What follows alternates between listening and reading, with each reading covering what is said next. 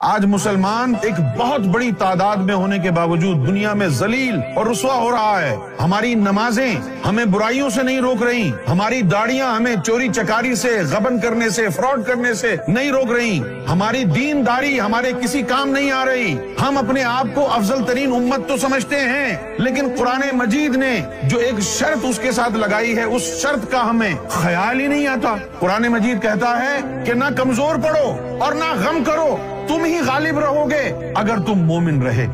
कि वो जो नबी करीम सल्लल्लाहु अलैहि वसल्लम की उम्मत का जो वकार था, जो ताजीम और जो इज़्ज़त थी, जो वलवला था गुलगुला था, गलबा था अकवाम आलम पर, वो क्यों नापैद हो गया? आज का मुसलमान या तो फाका कशी कर रहा है, या लोगों की गुलामी कर रहा है, या फिर मिडिल ईस्ट में है तो अयाशी कर रहा है। मीरा से मुस्तफ़ा कहाँ है? क्या दीन दाढ़ी रखने का नाम है सिर्फ़?